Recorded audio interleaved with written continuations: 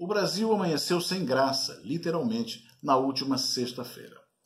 Nas primeiras horas do dia 5 de agosto, perdemos José Eugênio Soares. Inicialmente, Joe Soares. Definitivamente, Jô Soares. Um dos maiores nomes do humor brasileiro, jornalista, escritor, dramaturgo, autor e diretor grandemente habilidoso, comediante dono de uma verve e de uma cultura que poucos têm o privilégio de ter.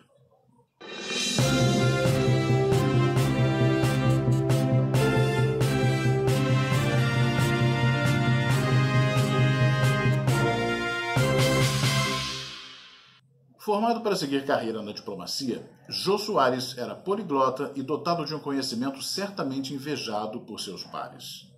E, como a maioria de seus pares, professava uma crença política de tons avermelhados, o que não o impediu de, por certo tempo, com suas meninas, as meninas do Jô, ser um crítico feroz do mal que os governos do PT fizeram ao Brasil.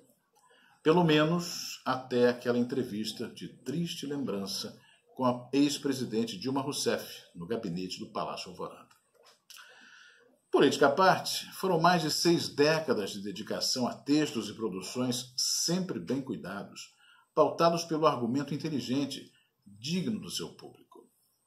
Com parcerias gloriosas nas laudas e em cena, com gente do quilate de Max Nunes, Haroldo Barbosa, Renato Corte Real, Paulo Celestino, Felipe Carone, Agildo Ribeiro, Paulo Silvino e Francisco Milani, para citar apenas alguns dos notáveis a quem você foi fazer companhia.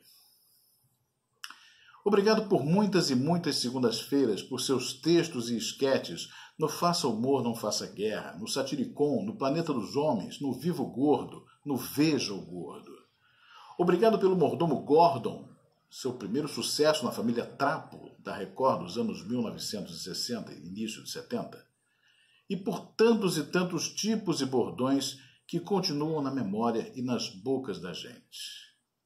Obrigado pelas entrevistas de fim de noite do Jô Soares 11 e meia, que raramente entrava no ar às 11 e meia, e do programa do Jô.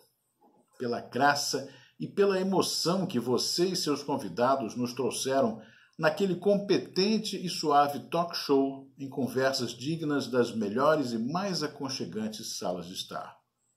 Obrigado pelo sexteto Obrigado pela leitura saborosa de O Xangô de Baker Street, Assassinatos na Academia Brasileira de Letras, As Esganadas e O Homem que Matou Getúlio Vargas, entre outros, e por nos legar uma tão detalhada autobiografia nos seus volumes de A Vida de Jô.